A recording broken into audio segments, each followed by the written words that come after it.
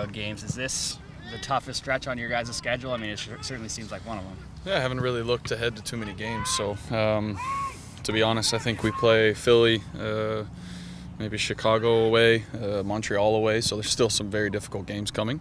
Um, you know, but the most important thing is for the guys to focus on what's happening now. Um, definitely a difficult stretch right now. Um, you know, but even saying that, we, we, we know we didn't have our best game. Um, you know, first 15 minutes, we had no idea what they were doing. Uh, we, were, we were completely lost. I think everybody can admit that. And then, you know, we figured it out after 15 minutes when we started knocking the ball, keeping the ball, and I thought that we closed out the half well. And then, you know, they score within four minutes in the in the second half, and then we're chasing, and it opens things up, opens thing up, and you don't want that on the road. So, um, you know, comedy of errors. Um, you know, we just got to be honest with ourselves and look over film, and we're playing the best team in the league this this next week away from home. So definitely a tough stretch, but. Um, this is a good test. Yeah.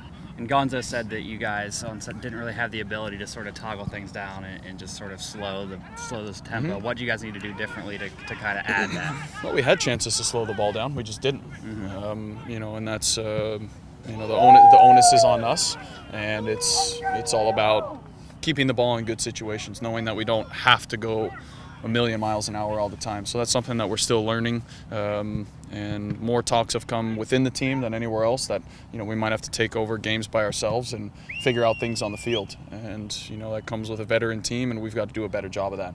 Um, so looking over film, slowing the game down. We went at, we're one-one. You know, second half, keeping more possession, pinning them in their half. You know, when the opportunities come.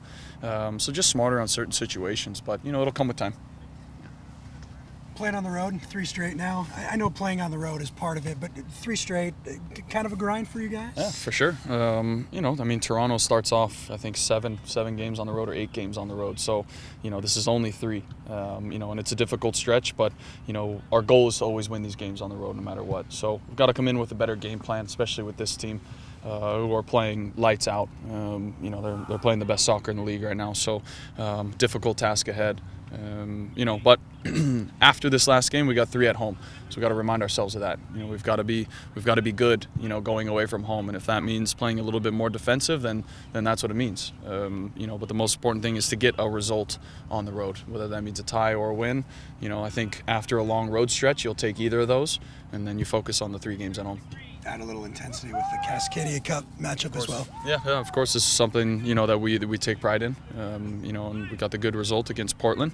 Now we've got a chance to extend our, our lead in, in that department in, in the Cascadia Cup. Um, you know, and so for us, it becomes more than just a game. You know, it's it's another game against one of our longtime rivals. So you know, things change a little bit, um, more intense. Um, but we've also got to be smart at the same time. What is it that you're seeing from Vancouver that, that is impressing you right now? Their attack attack is, is just free flowing. Guys are you know switching positions. Different guys are scoring. It's not the same guy scoring over and over. So they're playing as a team. They're playing as a unit. Um, it's going to be very difficult, and, and we've got to be up for the task defensively. It seems like this Columbus crew really exposed you guys as flanks. Yep. What would you say that this team can do to maybe prevent that from happening farther on? Yeah, I think away from home, maybe we sit back a little bit more. You know, get our forwards behind the ball, let their two center backs have it, and that defensive midfielder when he drops in, you know that if we drop two forwards behind the ball, that eliminates three guys for them. You know, and so then it's you know eight or nine playing against their seven. Um, you know, we really didn't go over what we were going to do uh, facing crosses last week. So underprepared, um, and you know, guys trying to figure it out on the field, and too little, too late um, at certain points. So, you know, but that's what that team does. They expose you on the flanks and, and they cross the ball from open play. You know, by far the most crosses of any team in the league. You know, and when you have Kei up top and, and guys working underneath him, that's going to happen. So, got to do a better job recognizing what's coming at us uh, before we step into the game. Talked about the Cascadia Cup, and last year Vancouver came in here and was able to kind of get the trophy. How much of that is on your guys' mind this week? Yeah, uh, every trophy is. We always go into a season wanting every trophy, and you know that's being a little bit greedy, but we've got to set our, our goals high. And uh, if we set our goals anything other than that, you know, it's not acceptable from top to bottom here. So, um, you know, rich rich history with the with the Cascadia Cup, and you know, it's something that we want, and that's the bottom line. Um, you know, that would be, you know, probably the Open Cup would come before I haven't looked at the schedule, but it'd be one of two trophies to win first. So if we can get that one underneath our belt early on and lock that one up, you know, then we, have, you know, can focus on the next goal, the next goal, the next goal. So um, always remains a goal and, and, definitely a special game with special meaning. For sure. So how was the travel to and from Columbus? Any issues?